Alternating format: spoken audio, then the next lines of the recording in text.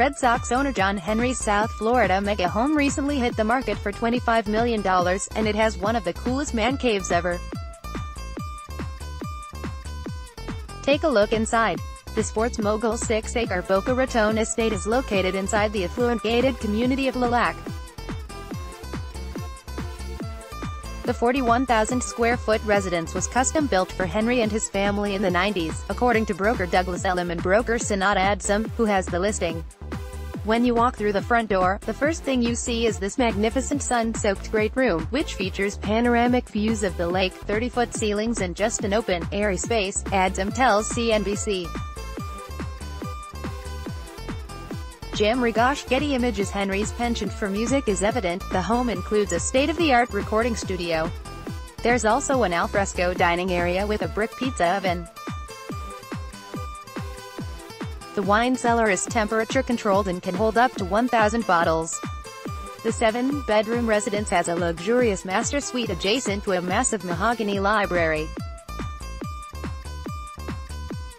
But the most impressive part of the house is the man cave, a sports bar complete with multiple World Series trophies and other sports memorabilia that would surely make any baseball enthusiast envious. It's decorated with World Series trophies, platinum baseball bats, golden gloves and a nice place to get a drink of course, Adzem says, referring to the bar. Platinum baseball bats memorabilia There's even a baseball autographed by American baseball legend Joe DiMaggio.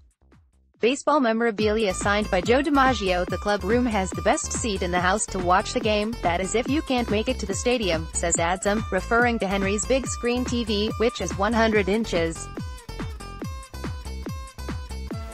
While the home is on the market, the priceless memorabilia has now been moved to a vault, says Adzem. The sprawling mega home also has a guest wing and even more luxury out back, with a clay tennis court and massive swimming pool.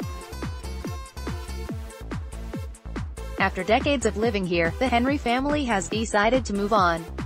They're now selling the South Florida home for $25 million. Unfortunately for any interested Red Sox fans, the baseball memorabilia is not included in the sale price.